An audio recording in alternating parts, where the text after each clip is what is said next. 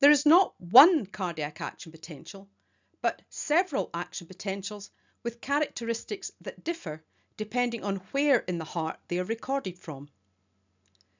The action potentials initiated at the sinoatrial node are specialized for pacemaking. The membrane potential changes continuously, not just during the action potential, but also between action potentials. Conducting pathways spread the action potential to the atrial muscle cells, where more distinct phases are apparent.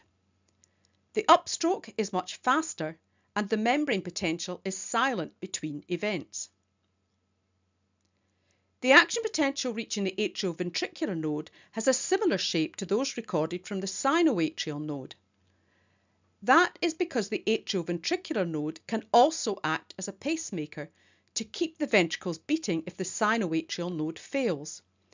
And its action potential enables it to act as a filter to limit the number of impulses that reach the ventricles if they arrive too frequently. As the action potential is conducted down the Purkinje fibres of the conducting system, it changes again. It activates rapidly and has a long plateau phase, which prevents premature contraction of the ventricles. The action potential reaching ventricular muscle has a pronounced and prolonged plateau, which is important for calcium influx and the control of contraction. It also prevents premature re-excitation of the muscle. The ventricular action potential is longer than the signal in atrial muscle, which must finish contracting and ejecting blood into the ventricles before the more powerful ventricles contract. The action potentials are all drawn on the same voltage and time scale here to clarify the comparison. The differences among the action potentials are due to differential expression of different ion channels. In this presentation, I will explain the most extreme differences between the sinoatrial node and ventricular muscle cells. This action potential is typical of cardiac muscle cells. Starting at the resting membrane potential, between action potentials, the membrane is highly permeable to potassium ions, which continually leak from the cell through potassium channels. The membrane is highly impermeant to other ions because the other ion channels present are closed. So, essentially, the only ion flowing is potassium. Consequently, the resting potential is close to the equilibrium potential for potassium ions at around minus 90 millivolts. The arrival of an action potential from the conducting Purkinje fibres causes depolarization, which raises the membrane potential to the threshold for activating sodium channels, therefore increasing sodium permeability. These are fast activating channels, so there is a rapid influx of sodium ions, causing a rapid and large depolarization to form the upstroke of the action potential. The action potential reaches a peak when the membrane potential approaches the equilibrium potential for sodium ions and the sodium channels become inactivated, reducing sodium flux. Depolarization also activates L-type calcium channels, which open more slowly and increase calcium permeability.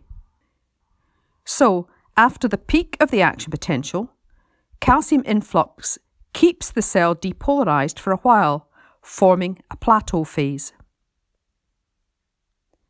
There are quite complex changes in potassium channel activity during the early part of the action potential, but Essentially, depolarization initially causes an overall drop in potassium permeability and efflux, so that calcium ions can maintain depolarization.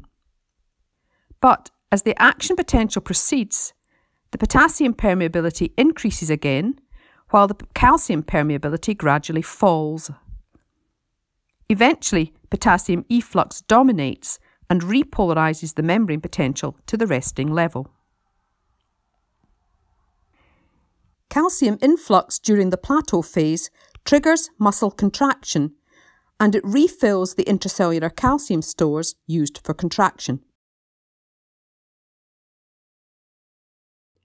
Now let's look at the permeability changes directly by superimposing them on the action potential. The y-axis scale is the membrane permeability of an ion measured relative to the potassium permeability at the resting membrane potential. Starting with sodium, its permeability is very low at the resting potential, but a small depolarization to threshold causes a large, rapid increase in sodium ion permeability, which quickly reaches a peak due to channel inactivation and the membrane potential approaching the sodium reversal potential. The calcium ion permeability changes much more slowly because calcium channels open more slowly than sodium channels. Calcium permeability is very low at the resting potential, but it slowly increases after sodium influx has depolarized the membrane, and it remains fairly steady for over 100 milliseconds before declining quite rapidly as the membrane repolarizes and the channels close. A key factor driving the shape of the action potential is the behaviour of potassium channels, which, as I previously said, is complex. At the resting potential, the membrane is much more permeable to potassium than any other ion, and depolarization caused by sodium influx initially causes it to fall. It remains at a low level for some time before increasing fairly quickly to drive cell repolarization. There are three points to take away from this diagram. Firstly, the action potential plateau occurs when the calcium and potassium ion permeabilities are both fairly constant. Secondly, the calcium permeability drops quickly once the potassium permeability starts to rise and cause repolarization. Finally, you should be asking, why does the potassium permeability fall during the action potential, then increase? It's probably not what you were expecting. The answer is that multiple potassium channels with different properties, including voltage sensitivity, are involved. I will explain their properties and interactions in a separate video. Now we will consider the ion permeability changes during an action potential in the sinoatrial node. This is the action potential of a pacemaker cell. Similar waveforms are recorded in sinoatrial and atrioventricular node cells. There is no resting potential, so we will start at the lowest point of the action potential. As in muscle cells, the membrane is permeable to potassium, and the basal flux of potassium generates a negative membrane potential.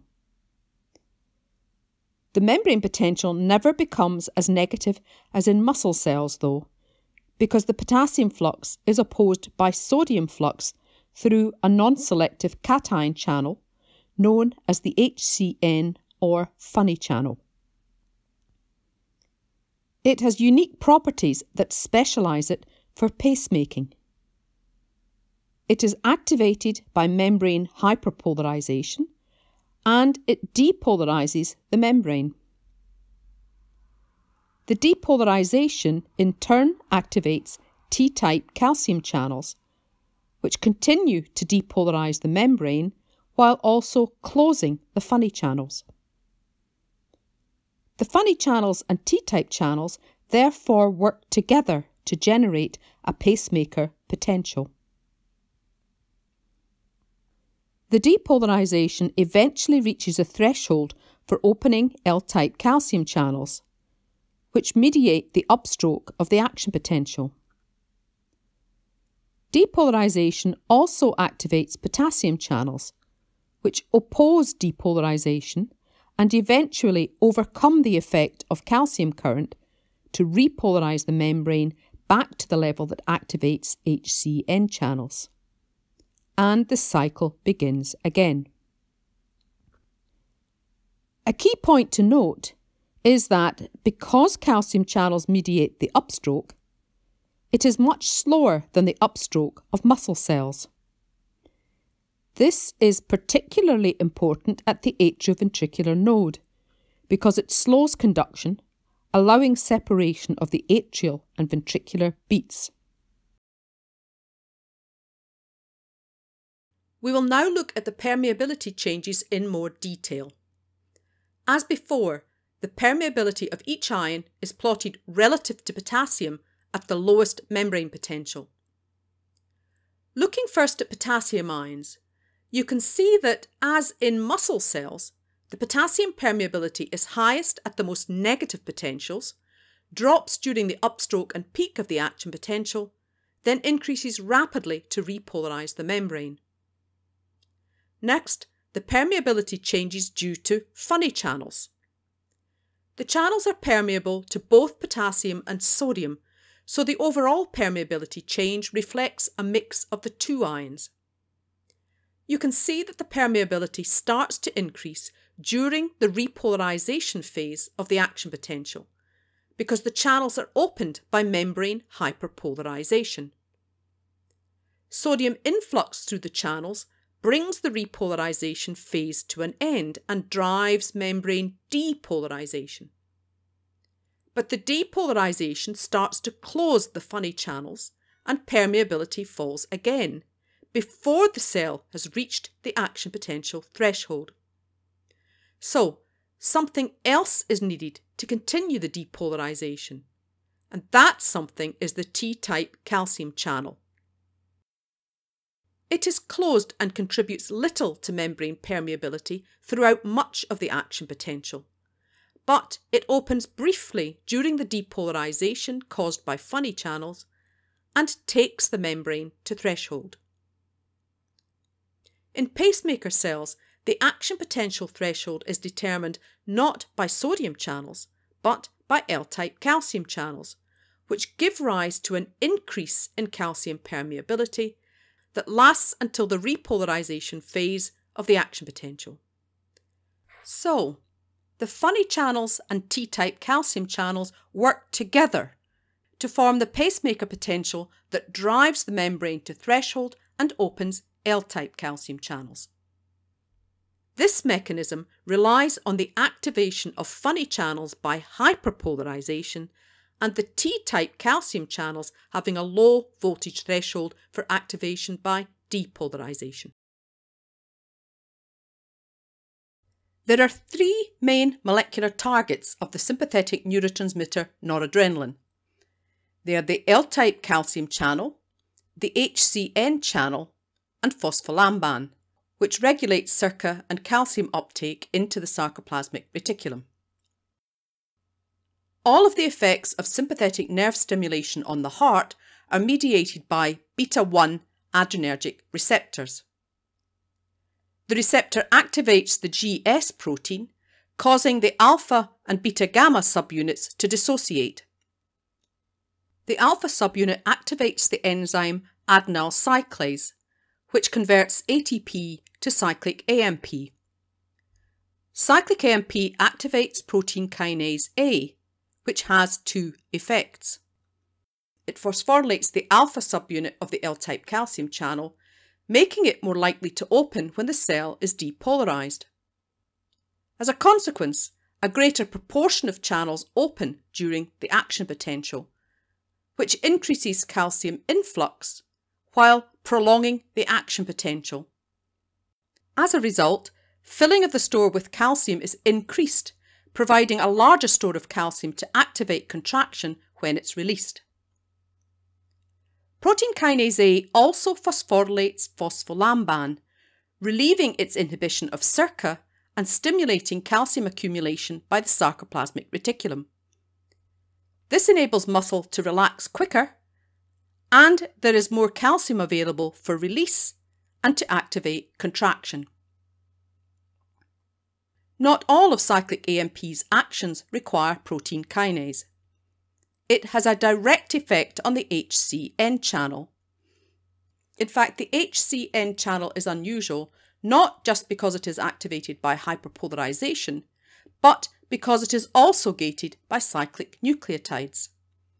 In the absence of cyclic nucleotides, a region in the C-terminal end that contains a cyclic nucleotide binding domain holds the channel in a closed state. The binding of two molecules of cyclic AMP to the binding domain causes a conformational change. This increases the sensitivity of the channel to voltage. So, as the pacemaker action potential repolarizes, there is enhanced opening of funny channels, which increases the slope of the pacemaker potential and increases the rate of contraction. You should now have a good grasp of cardiac ion channels, how they shape cardiac action potentials in different cells, and how they are regulated by sympathetic innervation. I hope you found the video as helpful and informative as I intended. Thank you for watching.